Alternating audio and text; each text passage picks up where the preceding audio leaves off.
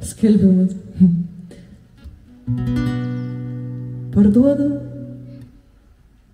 gyvenimą. Nedaug, bet šiek tiek padėvėta į baltas lankas vėjo kenamą. Bet žinantį tikslą ir vietą.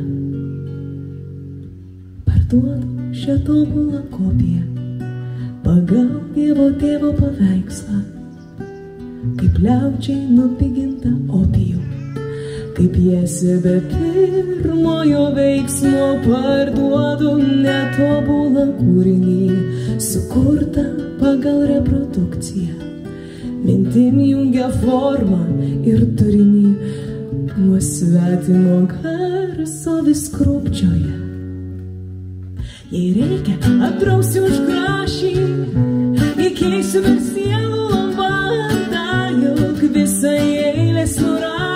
nurašė. Paliko tik pavardę vardą, paliko tik lauką ir akmenį, kurio prolapams nesimato.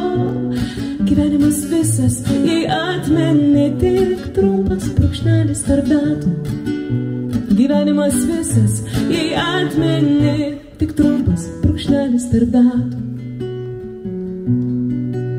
Kai viskas atrodo pabrango, gyvenimas šitas atpigo, nemokami laiptai į dangų, lentynoj daug dūkančių knygų, kažkas metų rydą atsuko, atrodo nedaug dar nueita, mainau į dėžutę degtukų, keičiu ir į angelo fleitą, nepaprasto angelo sargo, fleita jo seniai surdijo, gyvenimas mano pavargo, vis suptis ant vakarų sijų.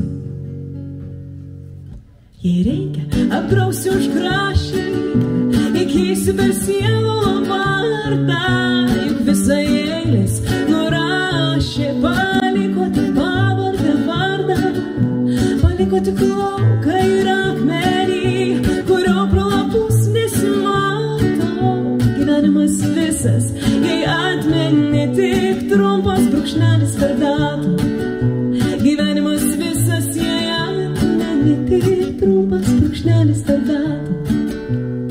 Gyvenimas visas, jei atmeni tik trumpas brūkšnelis tarp datų.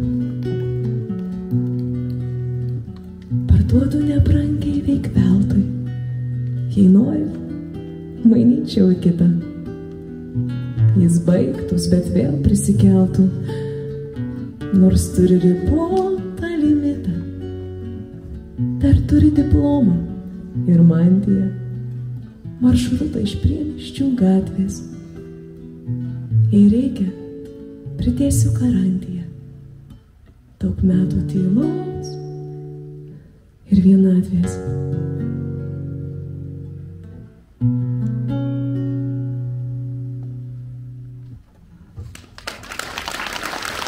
Ačiū.